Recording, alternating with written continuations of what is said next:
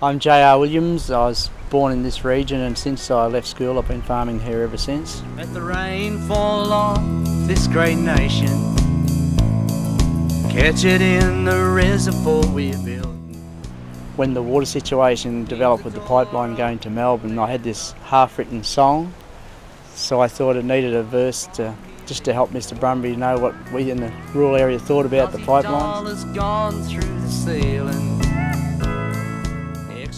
A lot of people on the land sort of don't think people in the city understand and don't really care. And I, I think the people, if they knew what was going on, would care a lot more. And it sort of tells a story about there's no water to go to Melbourne, and if it goes to Melbourne, it'll be flushed down the about the farmer.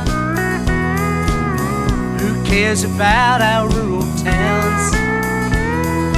Who wants meat and milk on their table? In northern Victoria, there's been less and less water, and people have had to try and, like in the dairy regions up here, had to buy in feed for all their cows, and it's just got tougher. Then last year, when they cut the milk price, it just that seemed to be the cap.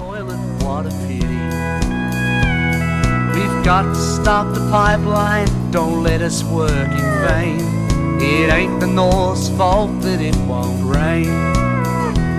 So who gives a stuff about the farmer? Cares about our rural towns?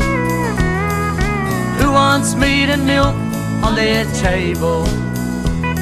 No worries, buy it from a foreign land.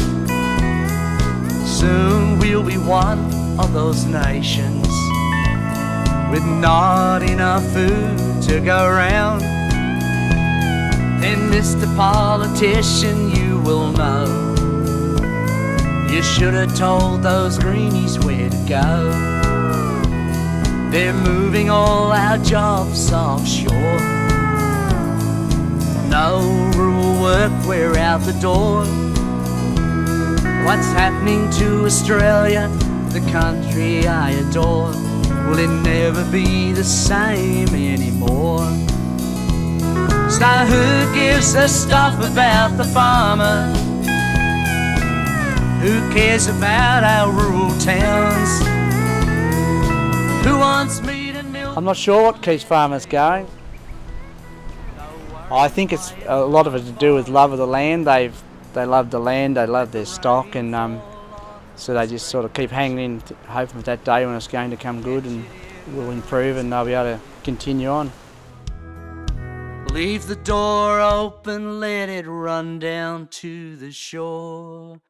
Don't nobody farm here anymore.